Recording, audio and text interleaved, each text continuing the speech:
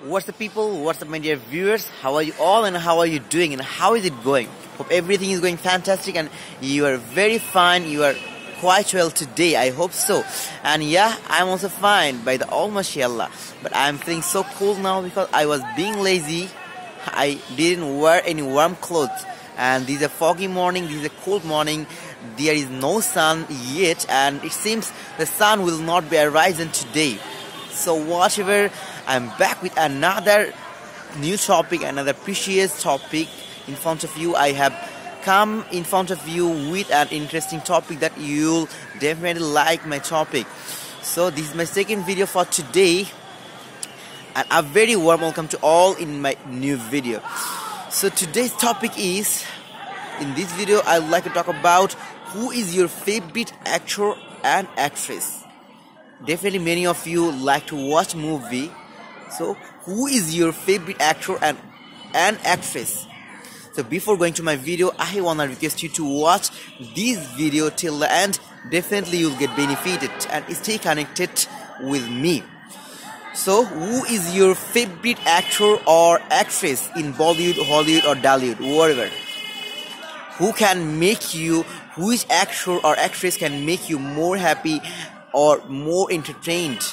And which whose movie would you like to watch most? And whose movie do you like to watch most?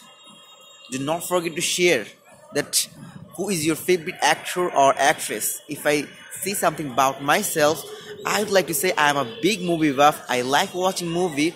At first in bollywood my favorite actor is Shah Rukh Khan especially and my favorite actresses are because there is one more so Deepika Padukone and Taapsee, and also in uh, Hollywood, especially my favorite actress, actor is DiCaprio. I think many of you like the DiCaprio because he was rewarded by Oscar. Okay, and also there is one more, and he he is uh, Schwarzenegger.